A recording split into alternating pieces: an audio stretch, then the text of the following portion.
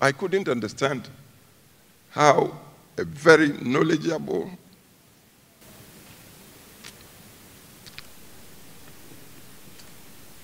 I think I'm getting emotional, but I'm telling you true story. How this man could be overthrown.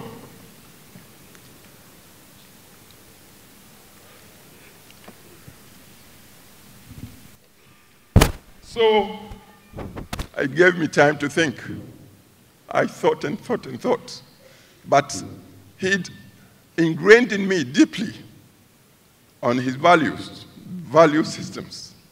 And central to his value system was the sovereignty of the human individual. I believe that's the basis of his call for democracy, democracy, we should be each our brother's keeper, the social interventions. So he didn't come back to Ghana.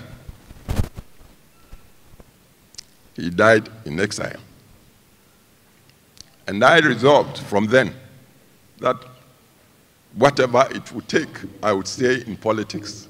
So God gave me the chance to fulfill what Busia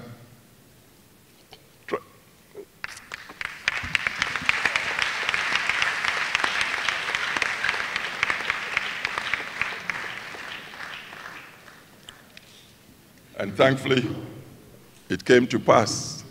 I had to wait 30 years to get to the presidency of Ghana.